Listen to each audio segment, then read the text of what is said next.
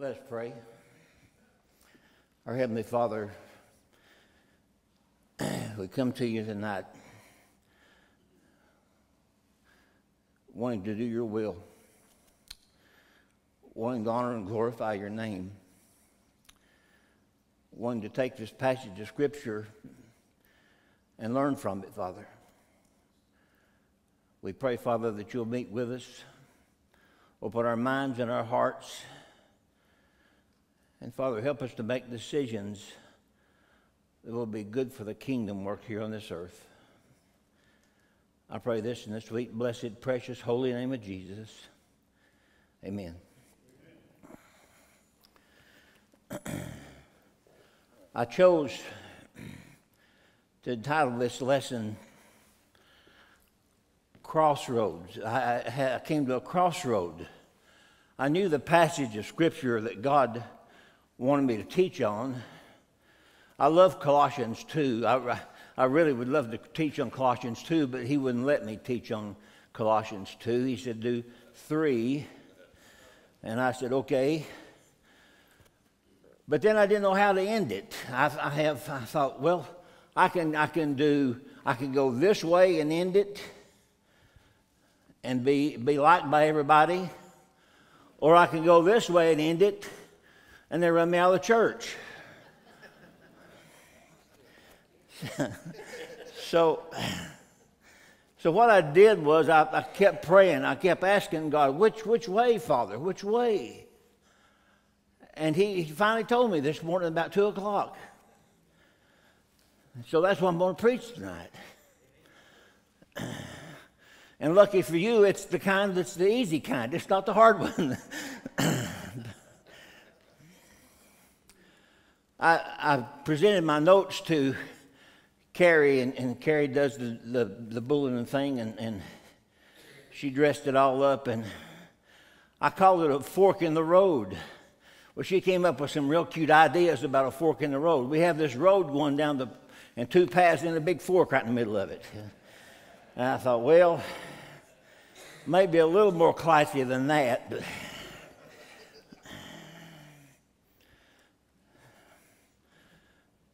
I will be in Colossians 3 tonight. If you, if you want to take some time to look for Colossians chapter 3, you're welcome to do that. I want to talk to you or tell you a poem by Robert Frost.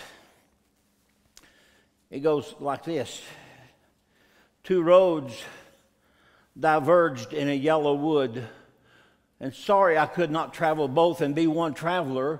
Long I stood and looked down one as far as I could to where it bent in the undergrowth.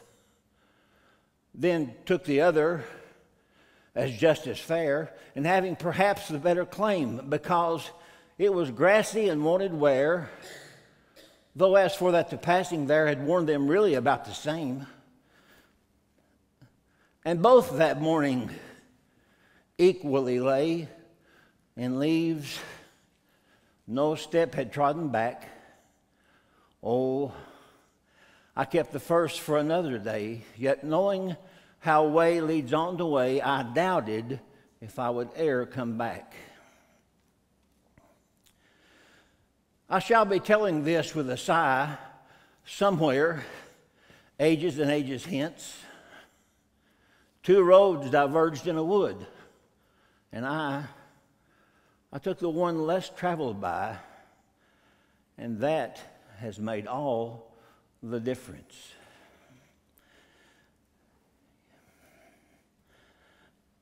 You see, we have a choice in life.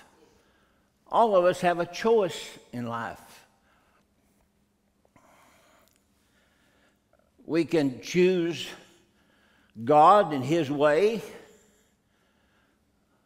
or we don't have to choose God in His way. I'm, I'm reminded was anybody here for the, for the play, the, the Heaven's Gates and, and Hell's Flames? Was anybody here for that? Yeah.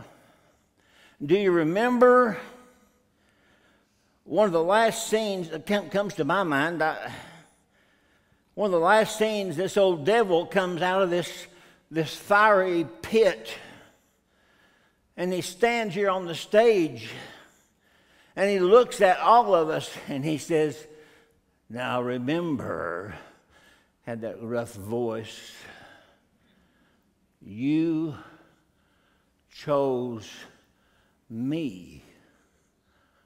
I didn't choose you, you chose me. And how sad that is. How sad that is. So, so I'm going to read to you tonight from Colossians chapter number three. Follow along with me. I'm reading from the English Standard Version. It's another strange thing God has me doing.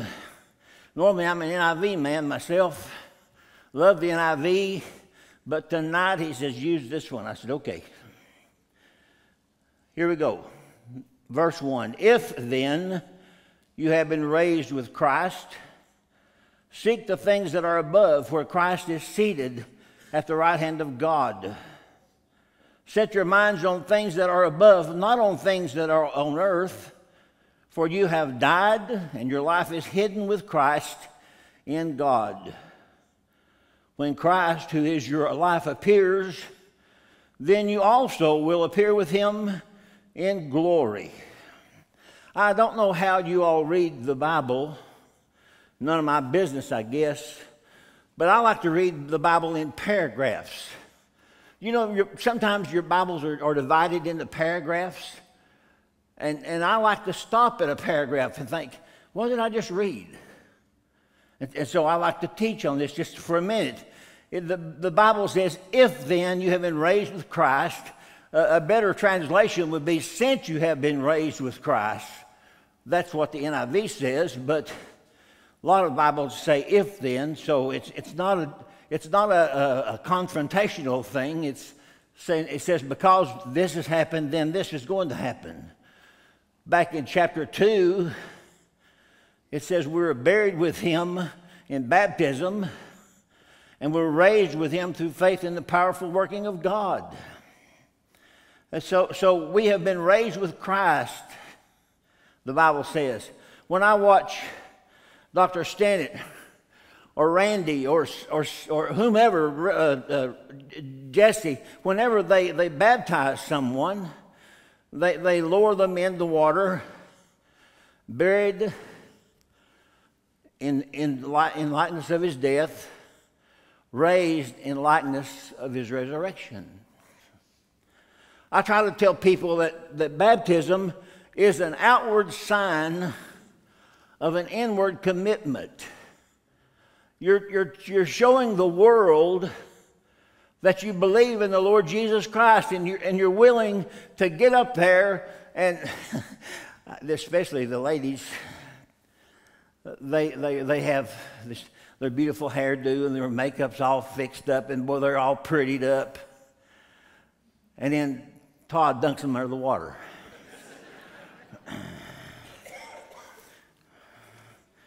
But Todd, I, I do it a little different.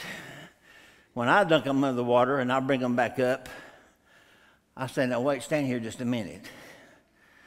I said, God wants us to leave here as salt and light in the community. So I take a little flask of salt, I have them dip their tongue, the finger in the salt, and touch it to their mouth. And then I have a lit candle and I light their candle and I said, now go and be salt and light in this world. The ladies just hate me for doing that.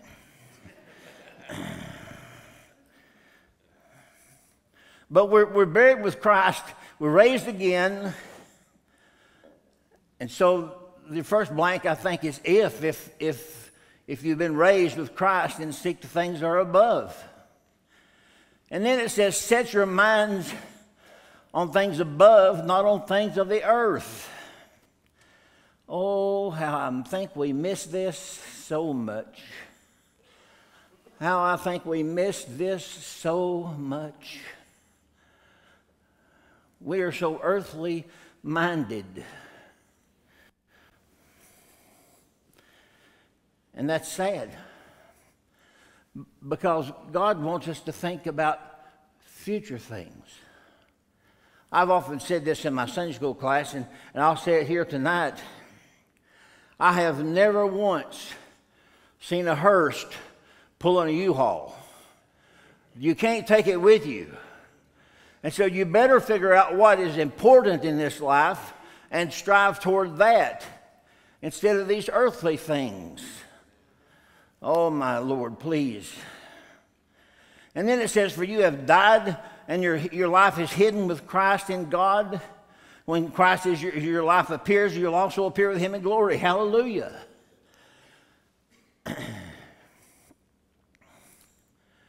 Dale, there's, there's an old song. I, you're probably too young to remember it, but it goes something like this This world is not my home, I'm just a passing through. My treasures are laid up somewhere beyond the blue. Oh, the angels beckon me from heaven's open door, and I can't feel at home in this world anymore. You know, that's the way everybody should look at it. This is a temporary place. And we think so much of earthly things. Sometimes I think we're no heavenly good. Let's move on. I'm, I'm, I'm, next paragraph, verse 5. Put to death, therefore, what is earthly in you. Now, there's a, there's a colon there, which means Paul's going to take off in this letter and list a bunch of things.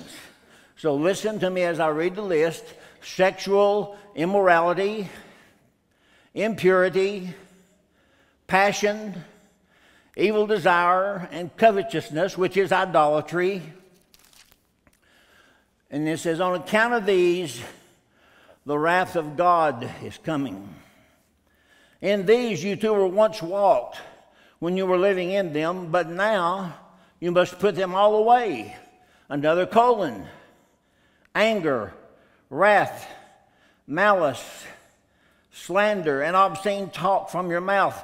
Do not lie to one another, saying that you have put off the old self with its practices and have put on the new self, which is being renewed in the knowledge after the image of its creator.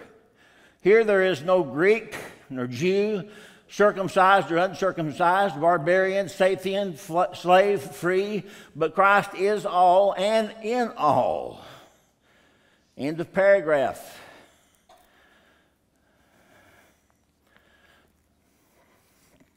It clearly says, put off your old self. Is that what it says? Put off your old self? The old sinful nature? and put on, put on this new self that God gives you. But I'm afraid church members all over, not just BOHBC, but I'm afraid churches all over the United States have people in them who talk a good game but they don't do what they say. Oh, we love to, we love to talk our, our Christianese. We love to come to church on Sunday and, and act like good people. We, lo- we love to, to put a good foot forward, in other words. Well, what happens on Monday? What happens on Tuesday? what happens on Wednesday. By the way, while I've got here on Wednesday,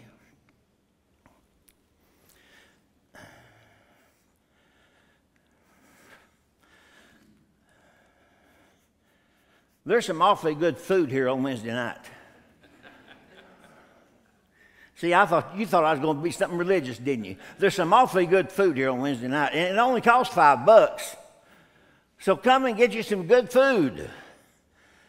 And then stay for the service because that man unpacks the gospel as good as anybody I've ever heard in my life.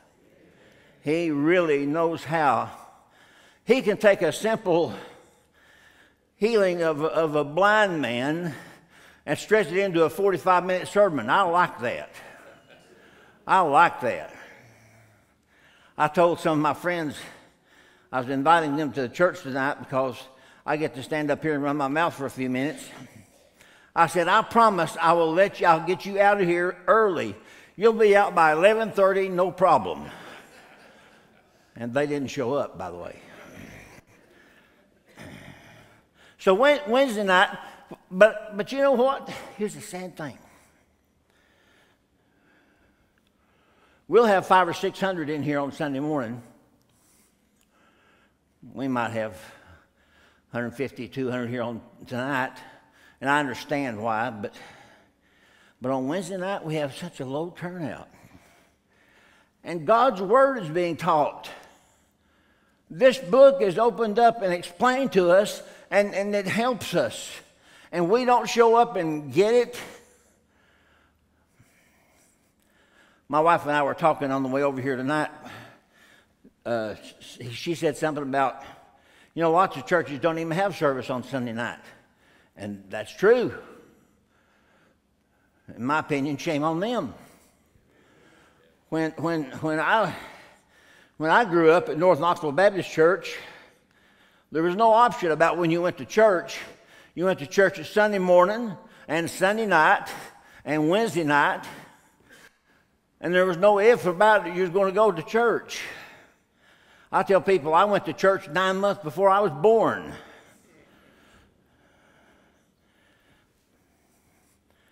And yet, churches all over Knoxville are ceasing to have Sunday night services. Well, you might say, well, now, Brother Anthony, give, give them a break.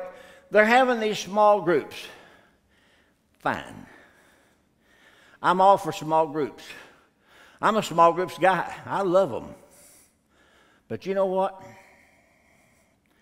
Small groups doesn't take the place of a church service on Wednesday night with a preacher standing up and, and expounding on God's word. That doesn't, I mean, it's just, this is the kind of fellowship we need.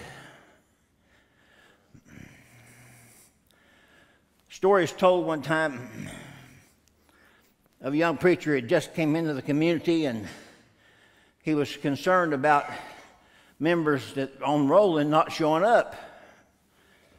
Kind of reminds me of my job. I, I've got a list on my desk several pages long of members who are on roll but they don't show up. So anyway, this young pastor goes and he wants to visit some people and he, he goes to this older gentleman's house and knocks on the door it's wintertime. He can tell there's somebody there because there's fire coming out of the fireplace, other smoke. And so he walks in, introduces himself to the man. And he says, I'm the new pastor of the church. And he said, I just want to let you know I've been missing you at church. I, I need to see you at church. And the old man gives several excuses, several reasons why he didn't come. Well, as the, as the young pastor was listening, he, he stands up and he gets the, the tools by the, by the grate and he picks up a coal and he sets it over by itself. And you know what happens to a coal that sits over by itself, don't you? It starts getting dimmer and dimmer and dimmer. And they sat there and looked at that coal for a while and neither one of them saying anything. And then the young pastor gets up, takes the tongs, and he picks the coal up and puts it back in the fire. And it brighter, it gets brighter and brighter. The young pastor says, Mr. So and so, we're missing you in church and you need to be there. Thank you for your time, and he left. The next Sunday morning, the man was back in church. The lesson is if we're not going to meet together, if we're not going to share each other's burdens, if we're not going to be, be, be friendly and, and helpful to each other, we soon start ebbing away. We had several cards filled out during the, the play, uh, Heaven's Gates and Hell's Flames. Lots of those cards they, they said, We accepted Jesus as our personal Savior. Hallelujah. Lots of those cards marked on them, we want to be baptized. Hallelujah. But call them and try to arrange for them to come to be baptized. And you'd think I was insulting people.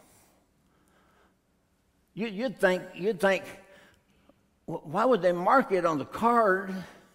Why would they accept Jesus as their Savior and then, and then, and then not come to be baptized? And I think to myself, it must be my phone voice. Or maybe, maybe, maybe I didn't use enough deodorant that day or something, but, but it's, it's a bit discouraging. But, but Lindsay and Carrie and the staff, they, they encourage me. They say, keep on keeping on. I just don't get it. So I'm afraid the church nowadays is talking a good game, but they're not walking a good game. What we need in church today is a lot more walkie talkies. We don't need just talkie talkie, we need walkie talkies. So let's, let's get busy and do some walkie talkie.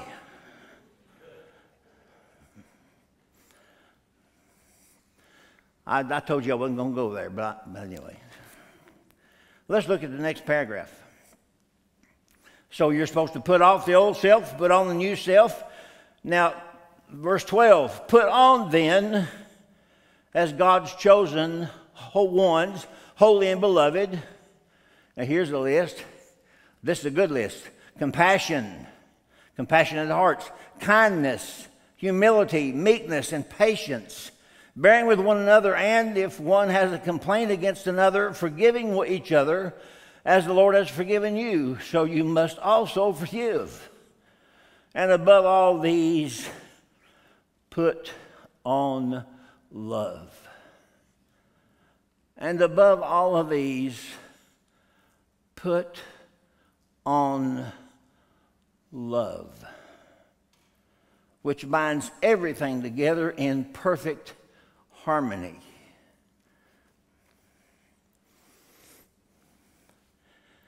Didn't you enjoy the, the, the special tonight, the, the soloist? Didn't Jeff do a good job? I'm, I'm telling you, buddy, that he has a beautiful voice.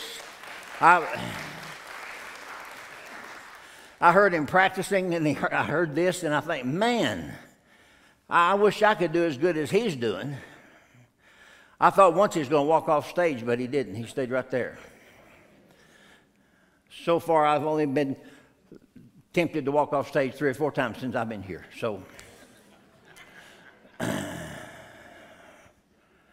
perfect harmony, the Bible says. Love has perfect harmony. And let the peace of Christ rule in your hearts, to which indeed you are called in one body, and be thankful. Let the word of, word of Christ dwell in you richly teaching and admonishing one another in all wisdom, singing psalms and hymns and spiritual songs with thanksgiving and thank, thanks, thankfulness in your hearts to God. And whatever you do in word or deed, do everything in the name of the Lord Jesus, giving thanks to God the Father through him.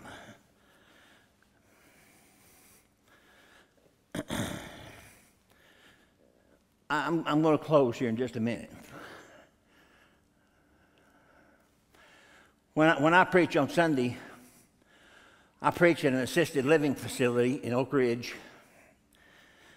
They've just had lunch. The average age up there is 90.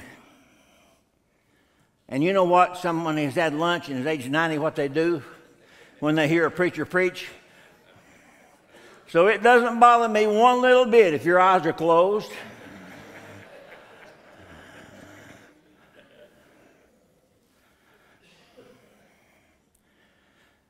Over the years, as a minister, I've been asked to do weddings, to officiate at weddings.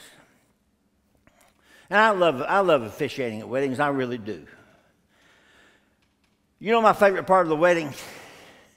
You don't even care, do you? yeah. I'm going to move on. The, all right, all right, all right. When, when, when, the, when the bride makes her entrance, you know, the bride, they come in, they start playing whatever kind of song it is they play. And everybody turns and looks at the bride. I watch the groom. I see his face. He's looking at his beautiful bride coming down, and I think, my goodness, he's so excited. Love's a beautiful thing. And, and as, a, as, a, as a pastor, I've already counseled with them, I've talked with them, I've tried to tell them all the good things about marriage. I've given them some warnings. And usually I use a very familiar passage to everyone in this room. It's called the love chapter. The love chapter. Anybody know what chapter that is? 1 Corinthians 13. 1 Corinthians 13. You know, I, and I've used that in, in numerous weddings. And I thought, man, this, this was put in here just for, just so we can have a good ceremony at a wedding. And God woke me up one day. He said, No, dummy, I didn't put it in there just for that. God talks to me that way sometimes because we are real good friends. Real good friends. And I hope you are. But, but, but here, here's, here's, here's what God said to me. He said, Anthony, in that passage is the perfect definition of love. And you need to use it in whatever you do all day long, seven days a week, 24 hours a day. And here is the passage. This is the definition of love. Verse 4 Love is patient and kind. Love does not envy or boast. It is not arrogant or rude. It does not insist on its own way. It is not irritable or resentful. It does not rejoice at wrongdoing, but rejoices with the truth. Love bears all things, hopes all things, endures all things. That's a definition of love. And I ask myself if, if I've put off all the old nature, all this old sinful nature that I'm supposed to have put off, why am I not acting like this? Why, why do I get angry?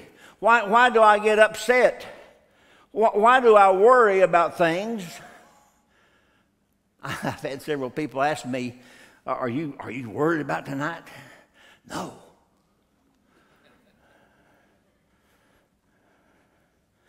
Because I'm probably only get one chance to do this, so I'm doing the best I can. so, so, but but but God says if if if you if you really want to put off the old self and put on the new self, then get on this program of love and perfect harmony. Quit acting like the world. The world will swallow you up. Let me see. Let me ask you a question. Uh, you can answer out loud. What show does Pat Sajak, what, what show is he in? Wheel of Fortune. Okay.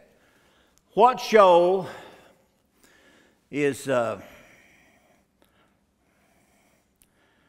Steve Harvey? Who show is he part of?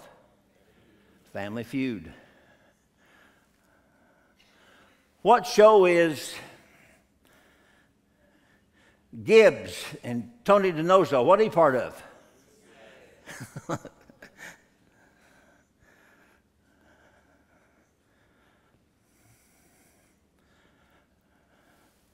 and the only reason I know you're giving the right answers is because I watch all those shows. but you know what? I'd a whole lot spend my time, a lot better spend my time if I was in this word than in those shows. How, how are you going to be friends with God if you don't know what He says? How are you going to be good friends with God if you never pick up His Word and read it? How are you going to be friends with God if you never pray and talk to Him and beg Him and cry with Him? How are you going, how are you going to do that? I've, I've got some good friends. I'm a very fortunate man. I have good friends. I could call any of these friends anytime and they would come help me. Guess what? God does the same thing. I can call on Him anytime, He'll come help me. He loves me. So I'm asking you tonight, church.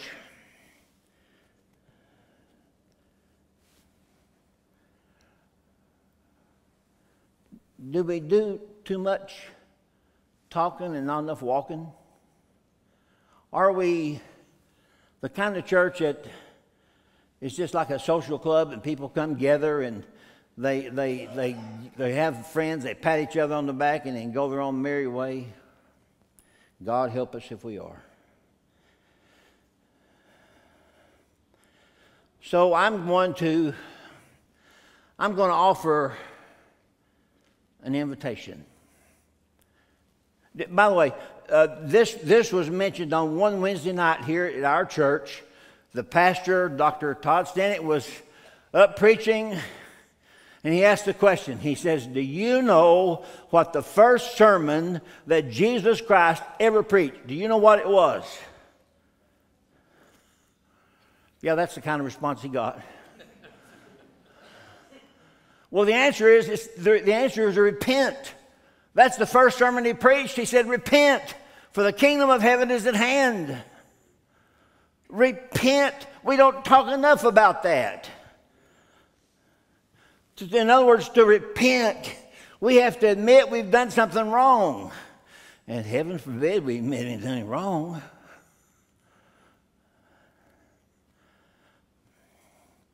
Well, I'm, I'm the first to tell you I need repentance as bad as anybody in this room.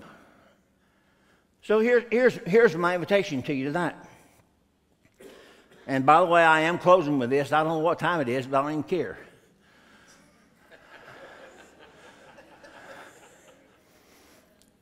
Invitation number one.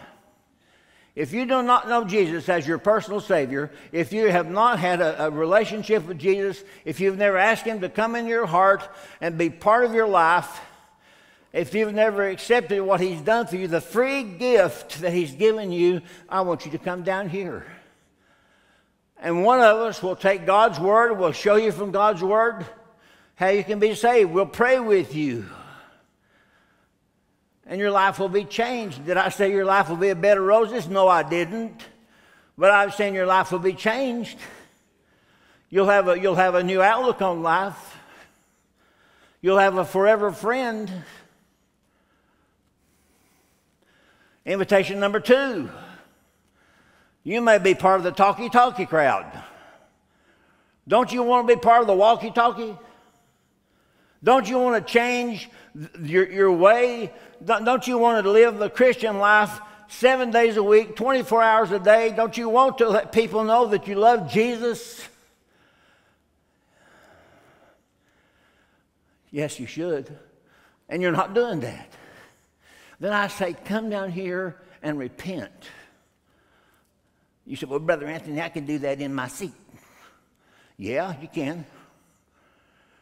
But you know what? God says, I, I love it when you come down and you show people that there's a change. You show people that you've made a decision. They don't have to know what you're down here for. You don't have to stand there and, and list all your sins. Heard a pastor one time say, If you expect me to list all my sins, you're crazy. I'm not going to do it. And I agree with him. I'm not going to list all mine either. But I'll tell you what, God wants you to repent. And, and the, last, the last invitation if, if you're not a member of this fine church, this wonderful group of believers, I invite you to come down and, and change that. You can be a member, you can join, you can have, move a letter from another church, you can have by statement of faith. We'll accept you lots of ways. If you need to be baptized, one of these guys will put you under the water.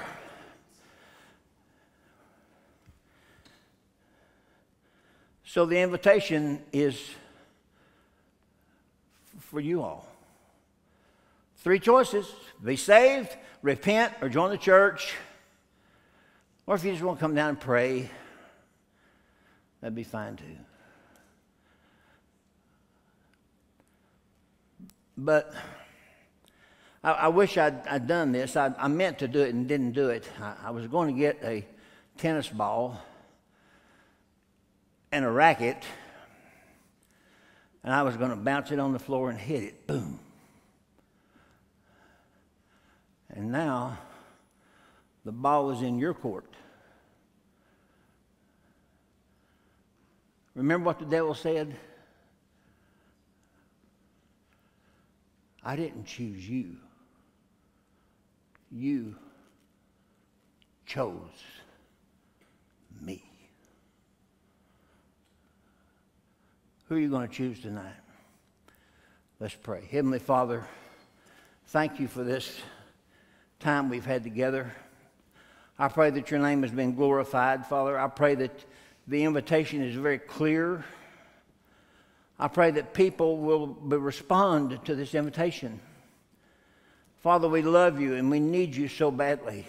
Help us to be walkie talkie Christians instead of just talkie talkie.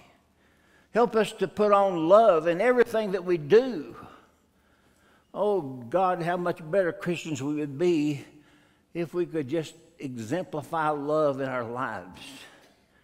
God, please help us. This is your time, Father. I pray this in the sweet, blessed, precious, holy name of Jesus. Amen. Come down front if you will, please, if you make a decision.